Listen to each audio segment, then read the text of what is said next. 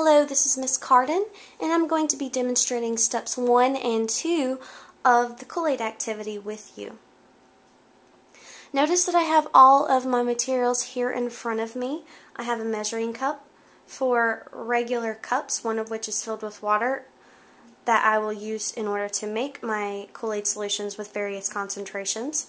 I have an electronic balance, a wooden spoon to stir my solutions, and I also have Kool-Aid mix that already has sugar added to it.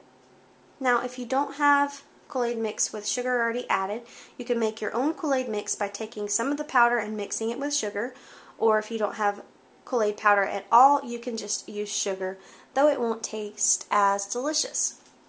Before I can make my first solution, which is in step one, a one molar solution, I have to calculate how much Kool-Aid powder I need to use for it. So let's go into my, my classroom and determine how much Kool-Aid powder I will measure out for this activity. And I'm going to be showing you how to calculate the mass of Kool-Aid you will need in order to make one cup of a one molar solution of Kool-Aid.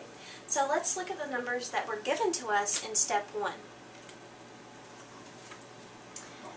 We know that we need to make 237.5 milliliters of the solution, which is one cup.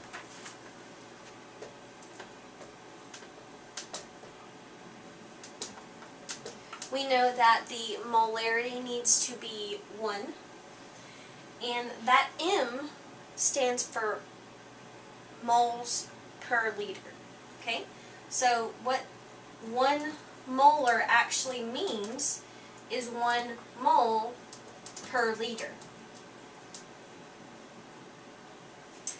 Then you have your molar mass, which was given to you, which was very nice, because usually you have to use the periodic table in order to calculate it. Your molar mass is 324 grams per one mole. So here are the numbers that we can work with. We know that our final units need to be in grams, so we can work backwards and cancel out all the rest of the units until the only units that are left in the problem are grams. And we're going to be using stoichiometry to do this.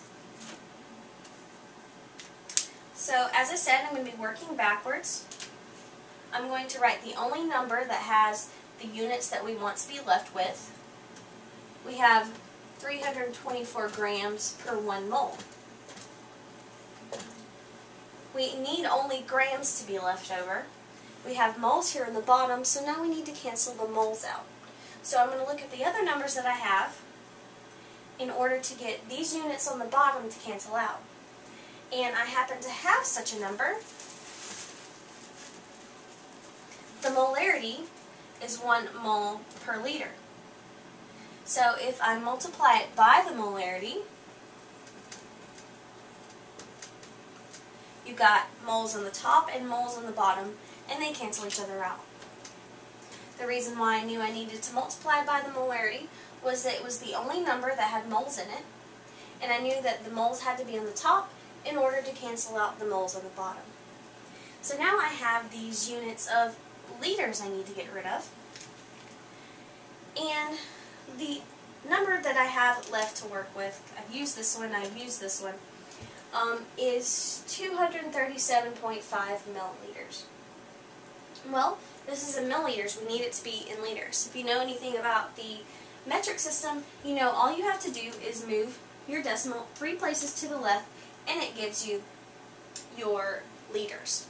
However, because we are working with stoichiometry, we're going to use the conversion factor we know that 1,000 milliliters is equal to 1 liter. We can take this conversion factor and make it into a fraction just as these two are in fractions. These are also conversion factors because 1 mole of the substance is equal to 1 liter of the substance. Um, for the molar mass, you know that 324 grams of the substance is equal to 1 mole of the substance. So these are equivalent, they just have different units. Same thing with this. So we're going to take this and make it into a fraction. by putting liters on top, so it will cancel out with these liters on the bottom. And then you have your milliliters on the bottom. Okay? We've got liters to cancel out with liters. So now we only need to cancel out our milliliters, and we have such a number to do that. 237.5 milliliters. Make sure that number is on the top in order to cancel out with the milliliters on the bottom. And when we do this calculation, the number that we're going to be left with will be in grams, and it will tell us how much of the Kool-Aid powder we need to measure out on the balance in order to make our one molar solution. Now, just a quick note about the math in this. I want you to understand what this actually means. And this, I keep going down, but it should be straight across. What this calculation actually means in terms of math, in terms of what you will be putting into your calculator, is 237.5 times 1 times 1 times 324. All of which are in parentheses, divided by everything that's on the bottom. 1 times 1,000 times 1 times 1. So when you enter this into your calculator, you can either multiply this all out first, and then divide it by everything here that's on the bottom. So it would just be a thousand. Okay, and once you find the number of grams you need to use, you can go back and make your first solution. I just determined how much Kool-Aid powder I need to use in order to make one cup of a one molar solution of Kool-Aid. So now I need to measure it out. So what I'm going to do is take the lid of my Kool-Aid powder. If you don't have this lid, you can use something else that is equivalent to it. I'm going to turn on my balance. Put my lid down and tare it. So when I um, tore it, it reset the scale to zero, so I no longer have to consider the weight of the, um, the lid. And I'm going to measure out the amount in grams that I calculated I needed for one cup of a one molar solution of Kool-Aid.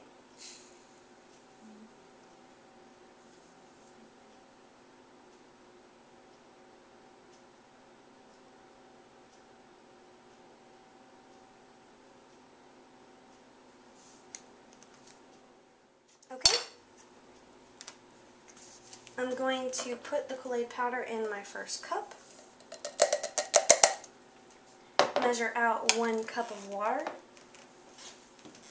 And this is going to get messy, just be prepared for that.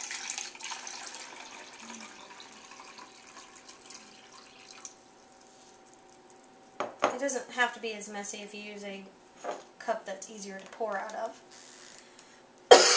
so now I have 237.5 milliliters or one cup of water that I'm going to mix in with my Kool-Aid powder.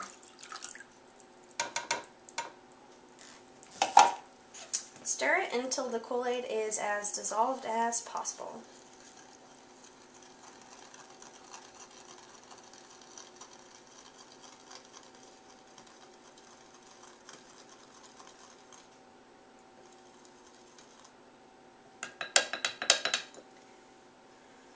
So don't taste test this yet. We're going to be doing it later.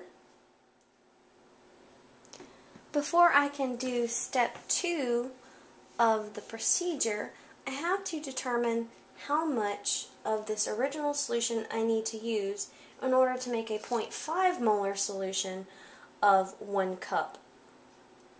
So let's go into my classroom and calculate how much of this solution I'm going to be putting into my 0.5 molar solution and then diluting it down with water.